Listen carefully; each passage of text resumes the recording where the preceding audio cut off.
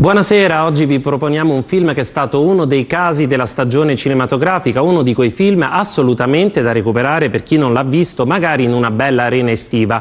Il capitale umano di Paolo Virzì parla di crisi economica, di avidità e di figli. Insomma, in qualche modo parla di noi. Vediamo. No, ascolta, quei soldi lì sono tutto quello che ho. Quando un film si rivela un grande successo, come si dice in gergo, di pubblico e di critica, una ragione c'è. Nel caso del capitale umano di Virzì ce ne sono diverse, ma in primo luogo la storia. Il film in pochi mesi ha vinto praticamente tutto, Nastri, David, Chuck Doro, ma soprattutto ha incassato oltre 5 milioni di euro ed è stato visto da quasi un milione di italiani. E in effetti il capitale umano è una dura parabola su uno dei mali del nostro tempo, l'avidità questa cosa accomuna per l'appunto tante, tante parti del mondo, eh, come se fossimo un unico grande suburbio di una, di una capitale finanziaria laddove eh, le persone sentono di dover eh, anche adoperare anche i mezzi più spregiudicati per riuscire a salvare la pelle. In un paesino della Brianza, Iossola, Borghesi in Ascesa bramano di entrare nel circolo dei Bernaschi, finanziari rampanti, anche grazie al fidanzamento dei figli. Le cose si complicano, un immigrato viene investito e ucciso. Non si arriva a un'assunzione di responsabilità, i ragazzi forse c'entrano, forse no. Dino Ossola Bentivoglio si indebita fino al collo per entrare nel fondo dei Bernaschi e svoltare. Non andrà così. Il capitale umano racconta dunque il lato peggiore, ma vero, del nostro tempo, conta su attori eccezionali e pluripremiati premiati come Bentivoglio, Gifuni, Golino, Bruni Tedeschi e ci ricorda per fortuna che il vero capitale umano, quello su cui puntare, sono i figli. Una storia valida in Italia, ma non solo, come ci racconta lo scrittore americano, autore del libro da cui la sceneggiatura è tratta. È una storia che purtroppo potrebbe essere vera nel Connecticut, come in Brianza, a Tokyo come in Brasile. Ma l'antidoto c'è ed è dentro ognuno di noi.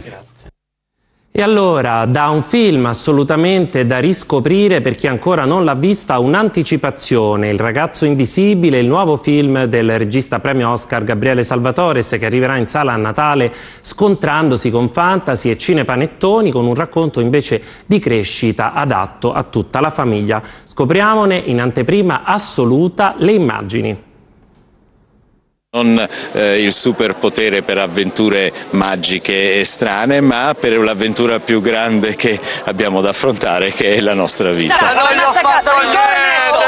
Ci ha fatto sognare in tanti modi, vincendo anche un premio Oscar. Ha raccontato il viaggio umano e spirituale in tutte le sue varianti, dagli indimenticabili commilitoni di Mediterraneo alle atmosfere futuristiche di Nirvana, senza mai rinunciare però a dire qualcosa sul nostro tempo.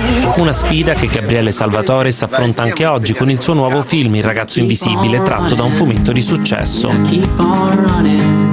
La storia di cui vi mostriamo le prime esclusive immagini è quella di Michele, 13 anni. Non si può dire che a scuola sia popolare, non brilla nello studio, non eccelle negli sport, ma a lui in fondo non importa. A Michele basterebbe avere l'attenzione di Stella. Il ragazzo però sembra intrappolato nella routine quotidiana, finché un giorno inaspettatamente non accade qualcosa di straordinario. Si guarda allo specchio e si scopre invisibile. La più incredibile avventura della sua vita sta per cominciare. Io credo che tutti eh, a quell'età lì, 13-14 anni, ci siamo a volte sentiti invisibili perché nessuno ci vedeva, eh, oppure avremmo voluto essere invisibili per scomparire. È uno di noi perché affronta quel momento difficile dell'adolescenza che è il passaggio all'età adulta, quando devi scegliere se rimanere un supereroe o diventare magnificamente una persona normale. È evidente che non si tratta dell'ennesimo film di supereroi, ma di una pellicola in cui Salvatore affronta il tema della crescita e il mondo dei più piccoli, seppure con toni fantasiosi, uscendo coraggiosamente a Natale, tempo in genere di cinepanettoni e colossal. L'obiettivo è quello di offrire un film di qualità, ma davvero per tutta la famiglia. Sarebbe molto bello che andassero a vederlo genitori e figli insieme perché sicuramente entrambi delle, eh, verranno toccati da qualche pensiero, da qualche emozione e quindi poi confrontarli. E davvero è anche questa una delle funzioni del cinema. Allora, care amiche e cari amici, se volete questa sera alle 23.20 vi aspetto con Effetto Notte, il rotocalco di informazione cinematografica di TV2000. Incontreremo Pier Francesco Favino che ci racconterà la sua passione per il mestiere di attore. Il post torna lunedì, sempre al termine di TG2000. Arrivederci.